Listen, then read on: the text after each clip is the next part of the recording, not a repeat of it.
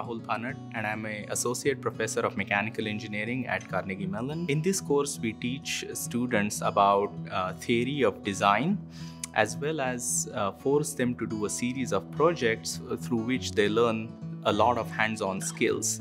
In one of the projects, I asked students to conceive, uh, design, and make a, a product which I cannot find on Google. So the teams have done really, really exciting projects such as a s'mores maker, an automated spice rack which is integrated with Alexa. There is a project on origami furniture as well as uh, a, an automatic gantry system and I really look forward to seeing all the projects today.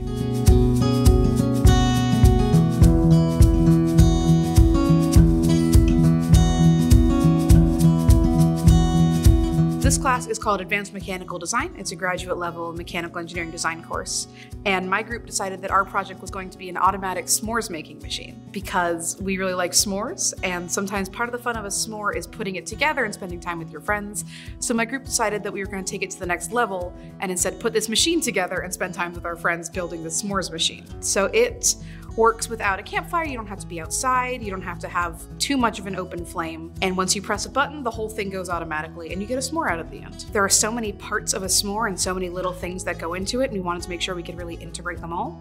So we had how do we get the marshmallow toasted and into the s'more? How do we get a graham cracker out of a machine and onto the same place every time? And so we have this tower that ejects a graham cracker and a chocolate, and then a little stabbing stick that spears a marshmallow, brings it far away from the rest of the machine to a fire where it roasts it, and then comes all the way over again, and then the last graham cracker comes out.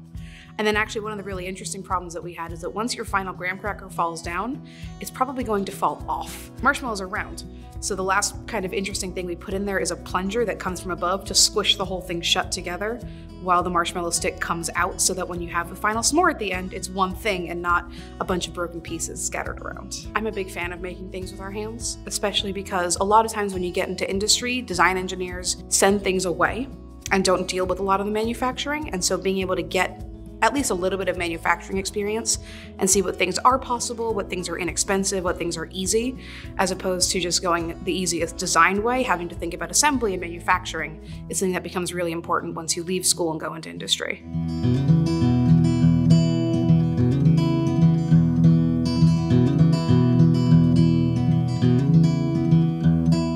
Hi, my name is Raul Martinez, and I'm in the Mechanical Engineering Master's Program. Our project is essentially a combination of a table and lamp, where essentially we're dealing with origami furniture to make it more accessible for like people moving around the US to like transport their furniture and whatnot. So essentially it's two parts, table and a lamp. Inside the top part of the table, there's a lamp embedded. So whenever we activate a switch, it essentially extends it up and down. There's LEDs attached to it as a little feature. And then the table itself is able to fold in from a flat pattern to like its standing night table pattern. For a team, definitely project management was very important in communication because one of us would be working, but then all of us wouldn't be able to meet at the same time. So we always had to be able to make progress. So it became a kind of juggle between we always have to be working and each one of us doing our part.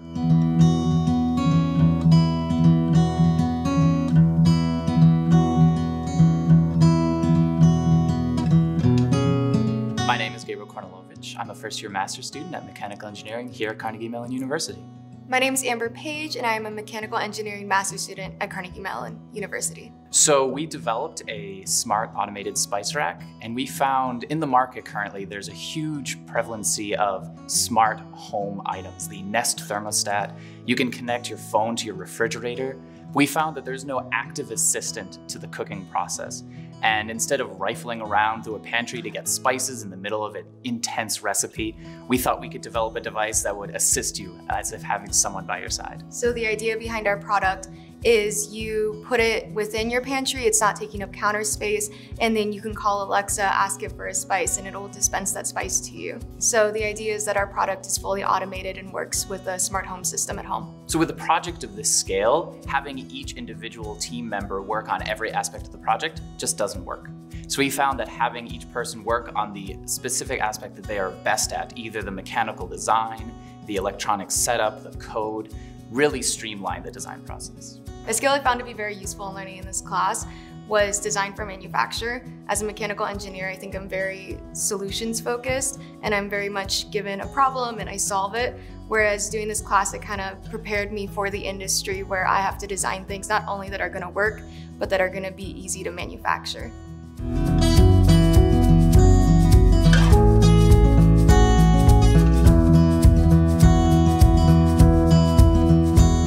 Harder. I'm in the Mechanical Engineering Master's track at Carnegie Mellon. This project was for the Advanced Mechanical Design course. We built a scalable item storage and retrieval system. So essentially it's a 3D gantry system which can be applied to a variety of different applications. So things like warehouses, nuts and bolts storage, uh, delivery trucks, basically a system that can retrieve the items that you want, give them to you so you can use them, and then store them back wherever you want them to be stored. This system will improve efficiency, eliminate the need for human workers to go and grab it, um, and overall just streamline the entire item retrieval process. Professor Panat brings an interesting experience to the table because he worked at Intel before coming to CMU as professor. So he really is able to bring us that real world experience and kind of teach us things that will actually matter when we go in the workplace. So different things like cost analysis for different manufacturing methods. He puts it in the perspective of the real world and how you can actually apply it in your future job.